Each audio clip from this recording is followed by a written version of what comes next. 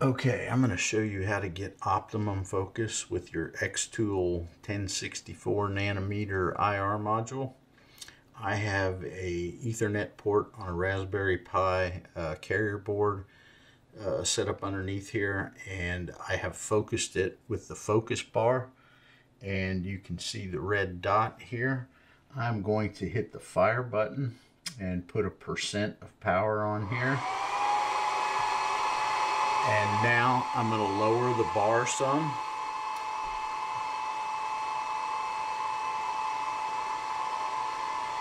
And you can pretty plainly see that me lowering this bar